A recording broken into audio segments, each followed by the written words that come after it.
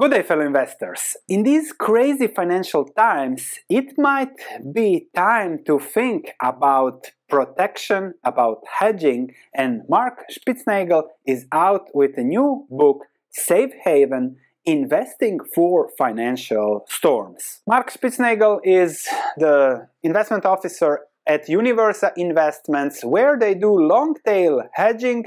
He's the author of Safe Haven and perhaps an even better book, but really longer and uh, really into the details, but I really enjoyed it, is The Dao of Capital, which is another book, heavy, but I recommend it to anyone that wants to learn about long-term investing and how best to do it. And with that long-term hedging that Mark Spitznagel did, he also has a goat farm, we'll talk about that later, in the first quarter of 2020, he booked a 4,144% return. Yes, you heard that correctly, 4,144% in one quarter which is what he does with long term with long tail hedging so invest small sums but when a crash happens he gets a bang for his buck and makes 40 50 times his money. Over the years, his fund produced 76% per year. That's a staggering annual return with risk mitigation, long tail hedging strategies. Of course, if you do the same calculation before the last crash, then it would be only marginally better, but still better for the protection that it gives when it comes to crashes. And the point is this, that you, if you have insurance, if you have protection, then you can invest 3.3% in Universa's fund, hold the rest long by being invested, and you get the benefits of being long while you mitigate your risks, and when the US market fell 12%, the same portfolio would have been flat, and over the long term, beaten the S&P 500 by what is this 3.5 percentage points or 350 basis points. And also something to discuss the risks. He calls the Fed stimulus very very very destructive that at some point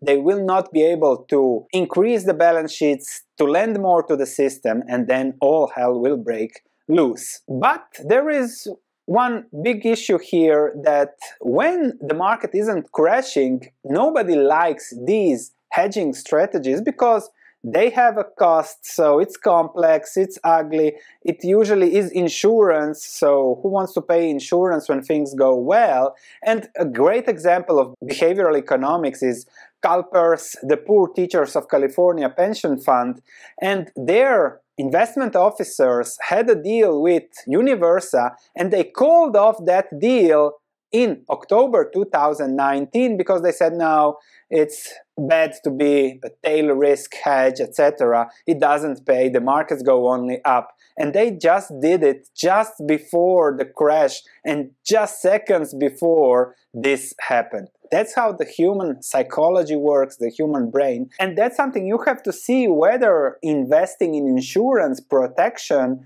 fits you. Mark Spitznagel has been doing that for decades and he really augments the idea of risk and reward which is also what we'll discuss now. If you enjoy this content, please smash that like button. Let's discuss the first principles that Mark discusses. Investing is a process that happens sequentially over a lifetime. What does this mean? Whenever you look at a portfolio, investment managers, whatever, they try to synthesize investing to now. So do this 40% here, 20 here, ta, ta, ta, now, that's it. The most expensive cup of coffee you ever had in your life with an investment banker, but nobody thinks, okay, investing, okay, starts now, see you over 40 years, what's the goal, how will that evolve over time, and what are the risks, rewards, how can we maximize your long-term returns. Not short-term under or over performance related to the market, but really maximizing your compound long-term wealth. And that's the second goal. Investing has one goal to compound your wealth at the maximum rate over the long term. And this is completely opposite of what modern finance discusses.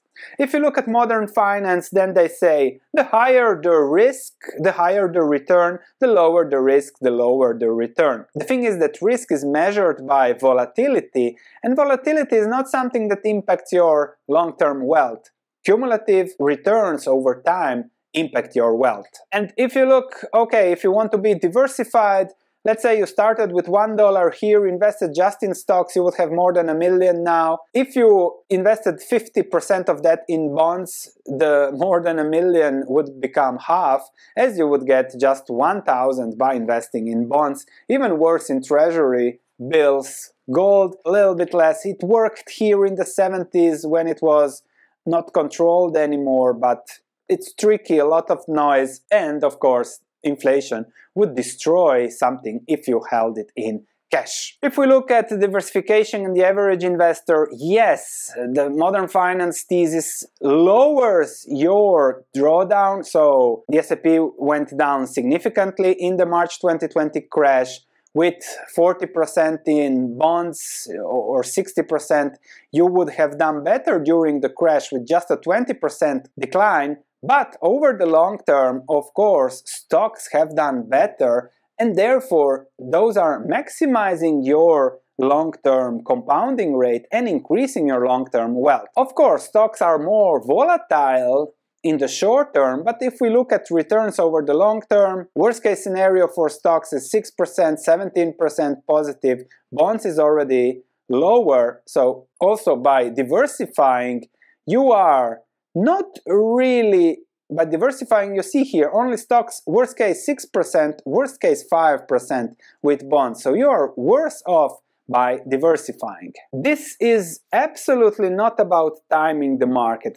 He says that the market is extremely risky, that at some point the Fed will not be able to increase the balance sheet, so very, very bad predictions. But he says when it comes to investing, you want to be agnostic of the market. You want to be that whatever happens with the market, you do well. And therefore, he says that by having some insurance, you can be long and no matter what happens, you will do well. And the fact is that we have to control what we can control, thus our long-term portfolio, the risks and reward included there, we can assess them now, what those are, and see whether it brings to our financial goals, and then also how much we want to put, if we want to put, into insurance. And the only scoreboard that counts, principle number three, is your final wealth. Not what happens in between, but 20 years from now, if you start with 1, will it be 2, will it be 5, will it be 10? That's of huge importance and therefore you have to focus at compounding at the highest maximal rate over time. And that's why there is only one investing path for you now. If you have money now and you want to compound it over 20 years, let's say you have 1 million, you add 1000 per month, you do that for 20 years, then you hope to retire. Let's say that estimated interest rate 10% and let's make a 9% variance. And if we calculate, you see here that the differences are staggering. With 19%, your million gets to 34 million. With 10% to 7.5 million.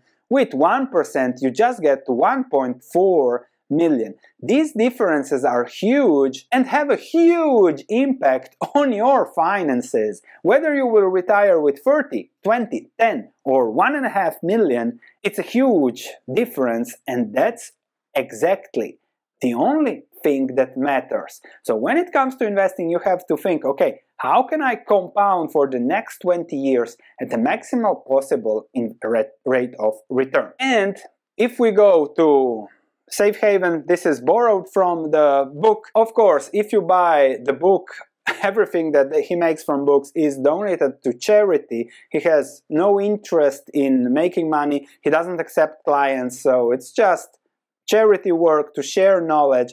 And uh, you can buy the book. I'll put links in the description below. If you click on the link, I get a fee. If you don't, then Amazon gets a fee. If you are an Amazon shareholder, you might want to help it. We'll also analyze Amazon in the coming weeks, I promise. So I'll see you for that. And discussing here you see here, they plotted 25 years possible S&P 500 returns over time, and you see, here are the outcomes from 10,000 pets of possible investing in the S&P 500. And you can see that if you get the worst 5% cases, you don't make any money over 25 years.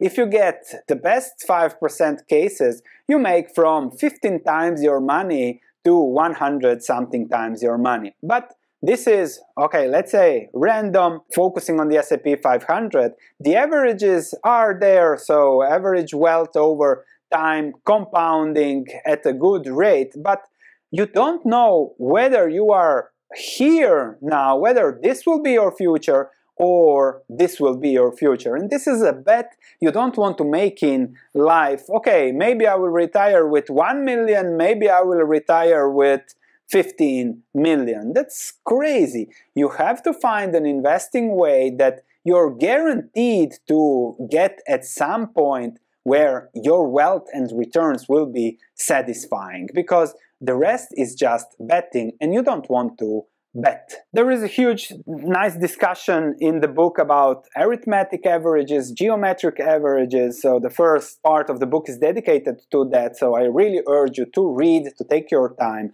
if you are more interested. Let's start with the definition, safe haven definition, preserving and protecting your capital and of course shelter from financial storms. But Spitznagel adds a concept and that's the cost effectiveness of safe havens. Safe havens, everyone says gold, bonds, cash, uh, rushing to safe havens, but that hasn't been really effective over the long term which means it hasn't increased your wealth Diversification is something that the, industry loves, but if it doesn't increase your wealth, then it's diversification, which is something that lowers your wealth over the long term, and that's something you have to be wary of.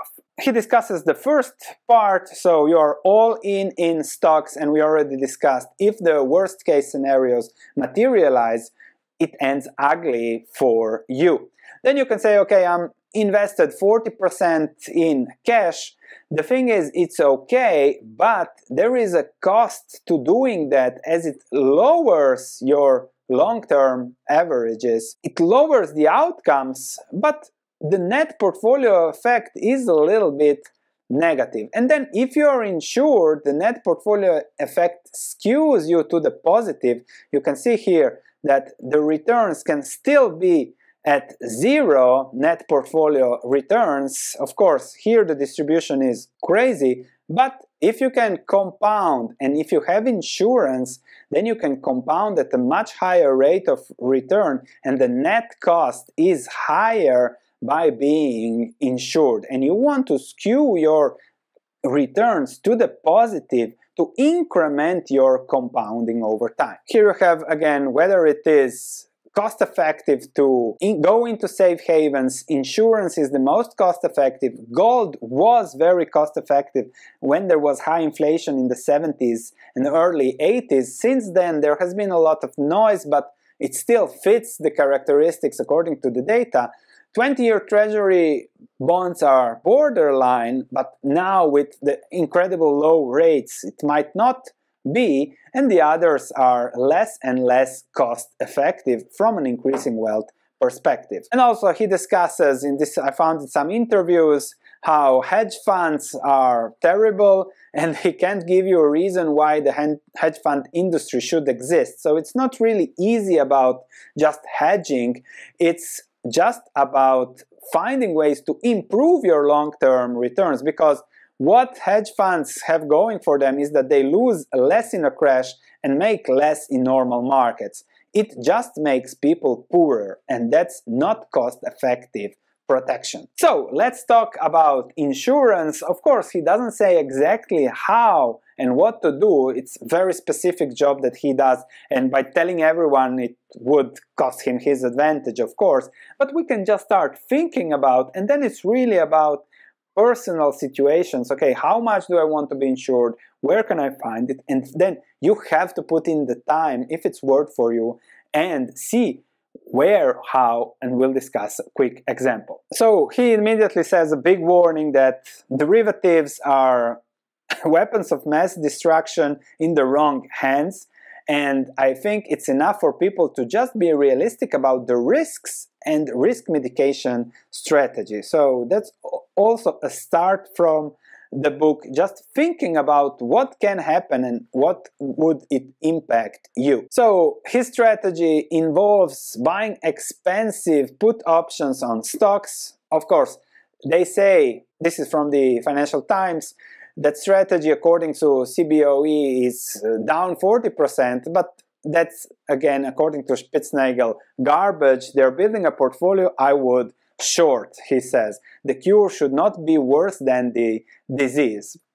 And the goat farmer here is he with his organic goat farm and he says that he exploits properties in the markets that take years and years and even decades to show themselves. And the key is that these protections cost almost nothing to put on during good times and can be sold at almost infinite prices during bad times, if that happens. That's what happened with his 4000% return. And then they ask him about arbitraging away his edge. He says the market simply has too much of a herd mentality to start thinking about this and to make these things expensive. On warnings, he says there is a limit to sovereign debt and there is a limit to central bank balance sheets and he thanks central banks for his business of protection. He's not kidding about that, even if it sounds funny. But also on the markets, he says that people who think markets are cheap now are absolutely kidding So let's discuss the game. Insurance, we said options, so you can go on the option chain. And if you want to protect yourself, this is for one year, January 20, 2023, if you want to protect yourself from losses, this is for the SPY, you have to pay about 9% to buy a put. And then whatever happens to the market, you will be safe, but you will have to pay 9%. How does this work?